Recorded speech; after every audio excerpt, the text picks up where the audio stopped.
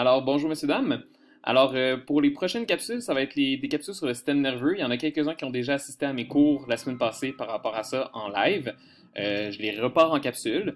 Donc, cette semaine, on va commencer à parler euh, des capsules par rapport à la base du système nerveux, donc les neurones, le système nerveux central, le système nerveux périphérique.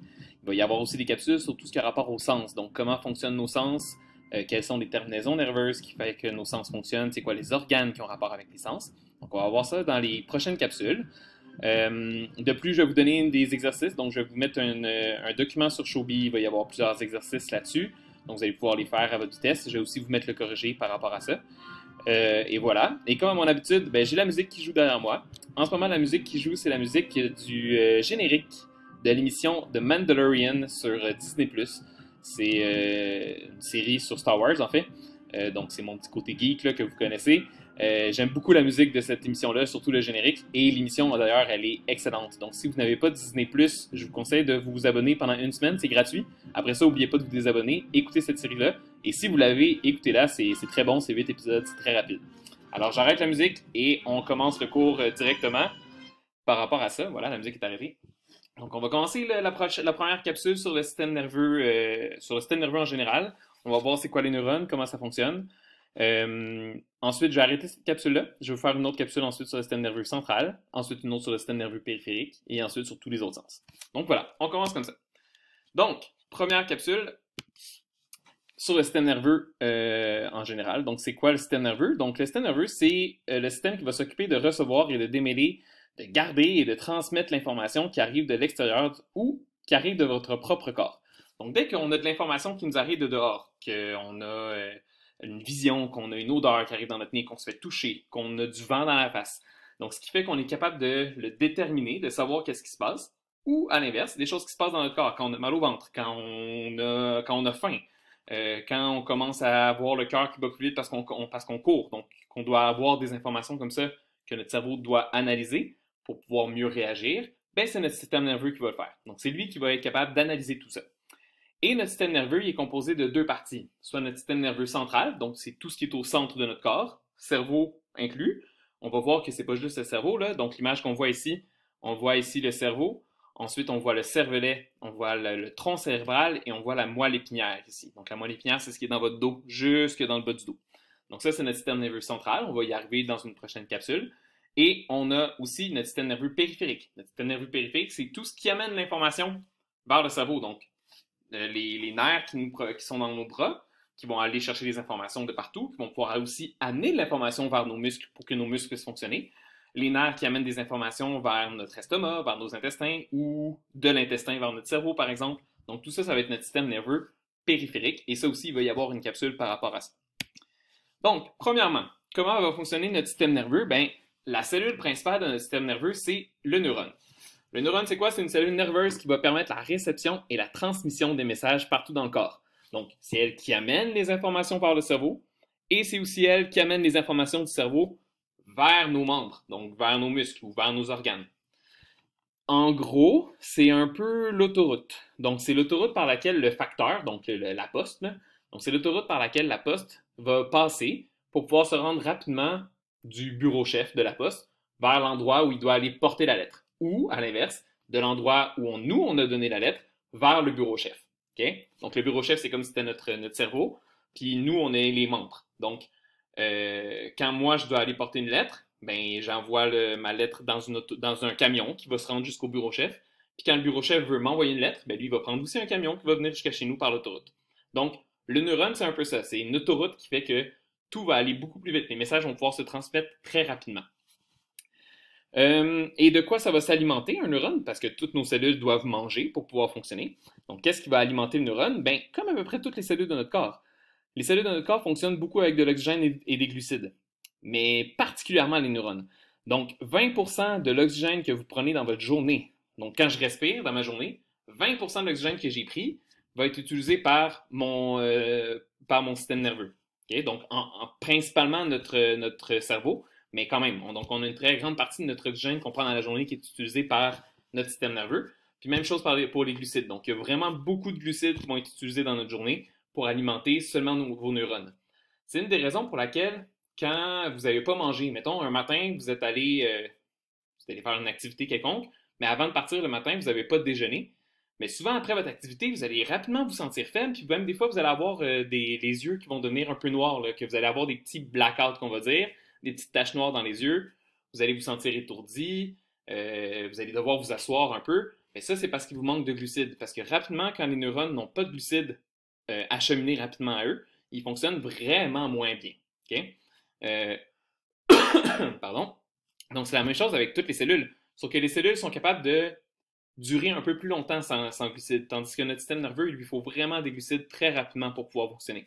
C'est la raison, donc, quand vous avez ce genre de, de petite faiblesse-là qui va apparaître, si vous prenez quelque chose de très sucré rapidement, un jus, euh, un bonbon, peu importe, un fruit, donc des, des sucres qui sont rapidement utilisés, mais c'est pour ça que rapidement, votre sensation de faiblesse va disparaître assez rapidement.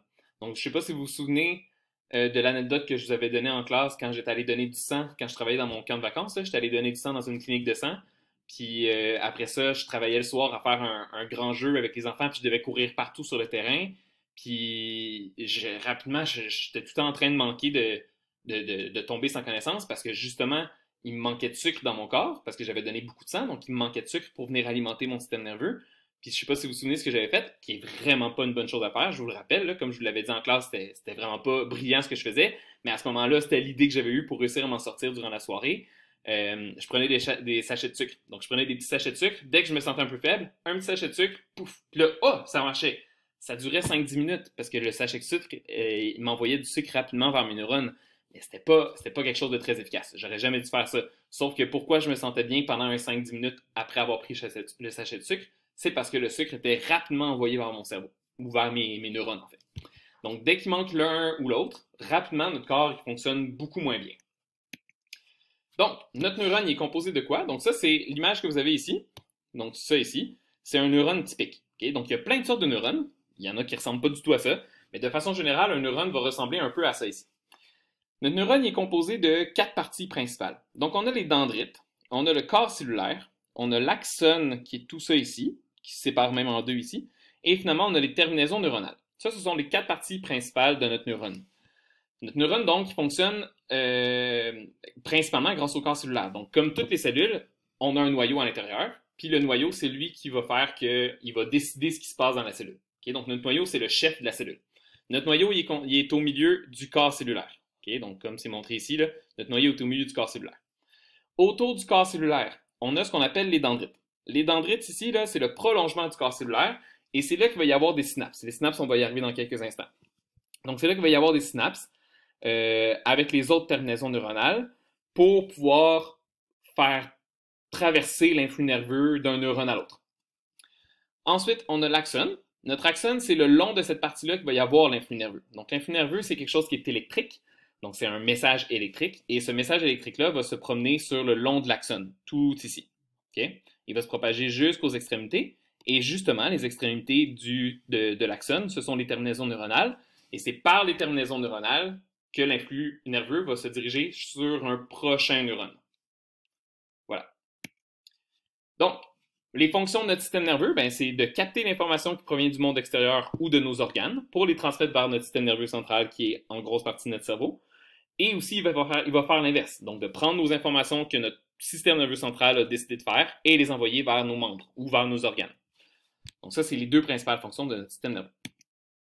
Comment il va faire ça? Bien, il va faire ça par des stimulus. Euh, un stimulus, c'est quoi? c'est ce qui va déclencher l'influx nerveux et qui va créer une suite de réactions. Un stimulus, c'est super vague. Il y a plein de choses qui peuvent être un stimulus. Donc, ça peut être des sons, ça peut être de la lumière, un changement de lumière, ça peut être de la chaleur, ça peut être un toucher, ça peut être une décharge électrique, euh, ça peut être une odeur, ça peut être une sécrétion d'hormones. Donc, il y a plein, plein, plein, plein de choses. Comme vous le voyez ici, il y a beaucoup de choses qui ont rapport à nos sens. Donc, la lumière, c'est la vue, le toucher, donc quand je me touche les doigts. Euh, le son, ça va être l'ouïe. L'odeur, ça va être l'odorat. Donc, euh, tout ça vont faire des stimulus qui vont venir après nous envoyer des informations. Puis, il y a d'autres choses qui sont l'inverse, donc qui nous proviennent du corps comme tel. Donc, la décharge électrique, ben, ça, ça va être le cerveau qui va envoyer une information. Puis, pour pouvoir faire ce voyage-là, ben, il va falloir qu'il envoie des petites décharges électriques à l'intérieur de notre corps.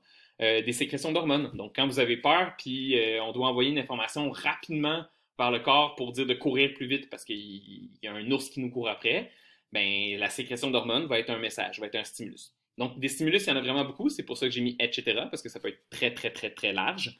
Mais donc, un stimulus, c'est ce qui va déclencher l'influx nerveux dans notre corps, soit de l'extérieur vers notre cerveau ou de notre cerveau vers nos membres. Et donc, notre influx nerveux, ben, c'est un message électrique qui se propage le long de notre axone. Donc, l'axone, si je reviens ici, donc, il va se propager le long de l'axone qui est ici. Et euh, voilà. Et l'ordre, comment ça va fonctionner, c'est qu'il va envoyer, il va probablement y avoir un stimulus. Donc, si je prends l'exemple de mon doigt, quand je viens toucher mon doigt, première chose, stimulus. Ensuite, il va y avoir une transmission de l'influx nerveux qui va se passer dans, notre neurone et qui va se rendre jusqu'à ma moelle épinière. À ma moelle épinière, je vais avoir un nouveau neurone qui va monter jusqu'à mon cerveau. Mais pour envoyer le message du premier neurone qui est à mon bras jusque dans, dans le deuxième neurone jusqu'à mon cerveau, il faut qu'il y ait une synapse qu'on va voir dans la prochaine diapo. Euh, ou l'autre d'après. Donc, euh, la synapse va être la dernière étape avant de pouvoir passer vers un prochain neurone.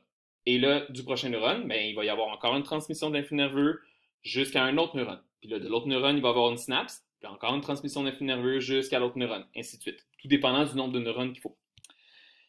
Et la vitesse de transmission d'un message dans, un, dans le système nerveux, c'est environ de 430 km/h. Donc, tu sais, 430 km/h, c'est déjà très, très, très, très rapide.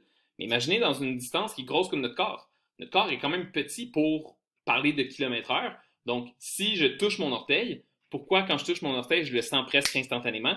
Ben, c'est grâce au fait que ça voyage à 430 km/h jusqu'à mon cerveau. Donc, c'est très, très, très, très rapide pour la distance que nous, on a à parcourir sur notre corps. Donc, c'est pour ça qu'on va le sentir assez rapidement. La synapse, voilà. Donc, la synapse, c'est quoi? Donc, ici, ce qu'on a, c'est la terminaison neuronale d'un premier neurone. Et ici, ce qu'on a, c'est le dendrite d'un prochain neurone. Et là, comme on voit, ce qui va se passer, c'est qu'il va y avoir l'influx nerveux qui va avancer comme ça dans la terminaison neuronale. Au bout de la terminaison neuronale, vous voyez des petites boules roses, mauves, mettons. Et dans ces petites boules-là, il y a des mini-mini boules bleues. Les mini boules bleues représentent des neurotransmetteurs. Donc, c'est des petites, petites molécules chimiques et quand l'influx nerveux arrive dans la terminaison neuronale, pardon, quand l'influx nerveux arrive ici, il dit aux petites boules roses de s'ouvrir et de laisser partir les, neurotransmetteurs. Donc, les neurotransmetteurs vont sortir des petites boules roses et vont se diriger vers le prochain dendrite. Comme on voit, là, la terminaison neuronale et le dendrite ne sont pas collés-collés. Ils sont très proches. Là. On est quand même dans quelque chose de très grossier ici. Donc, ils sont très proches les unes des autres, mais ne sont pas collés ce qui permet que les neurotransmetteurs vont pouvoir sortir de, la terminaison neuronale et vont pouvoir voyager jusqu'au dendrite. Et quand le dendrite reçoit les neurotransmetteurs, ben, les neurotransmetteurs, ils disent au prochain neurone Oh, on a un message, il faut l'envoyer. Et donc, à partir du dendrite, il va y avoir un influx nerveux qui va commencer dans le prochain. Donc, cette, euh, partie-là de la transmission du message qu'on appelle la synapse, c'est une transmission qui est chimique. Tantôt, on parlait ici de notre influx nerveux, qui est un message électrique. Donc, dans notre axone, c'est vraiment comme si c'était un fil électrique. Donc, c'est un message électrique qui se produit à cet endroit-là. Mais dans la synapse, ça va être un message qui va être chimique euh, par les neurotransmetteurs. Et c'est quoi les neurotransmetteurs? Ben, c'est plein de choses. Il y en a plein, plein, plein de sortes des neurotransmetteurs. Là, je vous en ai mis un exemple ici qui est la dopamine. Euh, c'est des, donc des neurotransmetteurs, c'est des substances complexes sécrétées par les terminaisons neuronales et ce sont des petits messagers chimiques, donc des petites molécules chimiques. Et il y en a de toutes sortes. Donc là, je vais donner l'exemple de la dopamine. Ça peut être euh, la noradrénaline. Donc quand je parlais en classe de courir puis on a peur de quelque chose, ben, c'est l'adrénaline qui sort. Donc ça, c'est un neurotransmetteur. C'est ce qui fait que votre corps ne va pas réagir pareil que si c'est de la dopamine. La dopamine, c'est une hormone qui va plus sortir quand on est content, quand on est heureux. Donc c'est ce qui fait qu'on ne ressent pas la même chose à l'intérieur de notre corps parce que le message n'est pas le même. Donc, notre corps va envoyer le bon neurotransmetteur au bon moment. Et finalement, on a ici, donc par rapport aux, neurones, encore, on a la dernière chose qui s'appelle la gaine de myéline. La gaine de myéline, ce ne sont pas tous les neurones qui ont ça à l'intérieur d'eux. Ce sont plusieurs neurones, en fait, mais pas tous. Et c'est une genre de petite gaine qui va fonctionner en, en petits tuyaux qu'on va ajouter un peu partout comme ça autour du neurone. Et cette gaine de myéline-là, ce qu'elle va faire, c'est qu'elle va protéger le neurone, donc elle va l'isoler, et elle va faire que l'influx nerveux va voyager encore plus vite. Donc ça, ces neurones-là, c'est avec les gaines de myéline, l'information va se diriger très, très, très, très rapidement à l'intérieur de ces neurones-là. Euh, si vous avez déjà entendu parler, par exemple, de la maladie qui s'appelle la sclérose en plaques, la sclérose en plaques vient justement attaquer la gaine de myéline. Donc, euh, comme je le disais, si vous avez déjà entendu parler de la, sclérose en plaques, c'est une maladie qui va justement venir attaquer la gaine de myéline. La gaine de myéline, en fait, ce qui va, ce arriver, c'est que la sclérose en plaques va venir la détruire par partie. Donc, il va y avoir une partie de la gaine de myéline qui va être détruite sur certains nerfs ou certains neurones, en fait. Et là, ce que ça va faire, c'est que l'information va plus pouvoir voyager. Donc, euh, quelqu'un qui a une... Il y a plusieurs formes de sclérose en plaques, mais par exemple, euh, quelqu'un qui aurait la, forme la plus de base, on pourrait dire, ben, la gaine de myéline va venir se faire détruire. Puis, par exemple, que c'est le neurone qui euh, gère le petit doigt, on va dire, là, je, le, simplifie, là, mais le neurone qui pourrait gérer le petit doigt, ce qui va se passer, c'est que l'information pourra plus se rendre. Donc, la personne pourrait devenir paralysée du petit doigt. ça se pourrait qu'elle ne puisse plus bouger du petit doigt. Il y a certaines formes de sclérose en plaques qui vont faire que la gaine va se refaire. Donc, ça va prendre quelques semaines, quelques jours avant que la gaine se refasse. Donc, la personne pourrait retrouver l'usage de son petit doigt.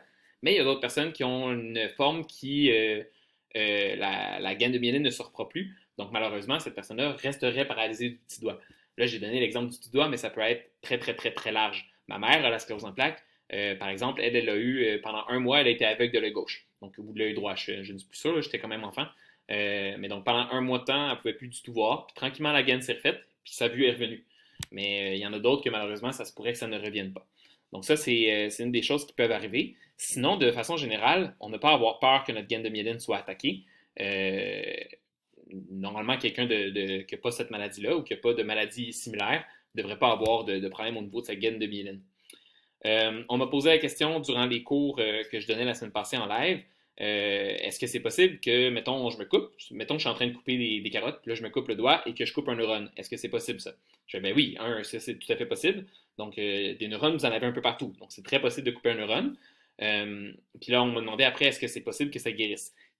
En fait, ce qui arrive, c'est que la, cellule nerveuse qui est, le neurone guérit très, très, très, très lentement.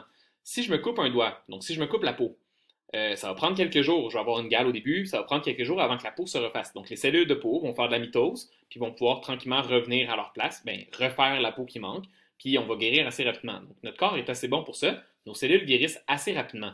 Mais pour le neurone, par exemple, c'est très, très, très long. Donc, on, dit qu'un neurone, ça va prendre à peu près 1 mm par année ou par deux ans avant que ça se refasse. Donc, si je suis en train de couper des carottes, puis avec ma lame de couteau, je viens couper un neurone ou un nerf, mettons, euh, le nerf, on va le voir ça dans une prochaine capsule, mais ce qui se peut, ça se peut que mon, nerf soit, ou mon neurone soit coupé de 1 ou 2 ou 3 mm même. Là. parce que c'est petit, 3 mm. Donc, une, lame de couteau pourrait venir de couper à 2 ou 3 mm. Donc, ça peut prendre jusqu'à 1, 2, 3, 4 ans, voire avant qu'on ressente la, sensation. Moi, je m'étais coupé un jour, justement, en coupant les carottes. Puis tout le bout de mon doigt ici, ça m'a pris 3 ans avant que je ressente quelque chose. Là, maintenant, ça va. Je, sens les choses. Mais pendant 3 ans, je ne sentais plus rien parce que j'avais coupé très profond et j'avais atteint mes neurones. Donc, c'est quelque chose de possible. Mais donc, vos neurones, ça prend vraiment beaucoup de temps avant qu'ils puissent se, guérir. C'est très, très, très long.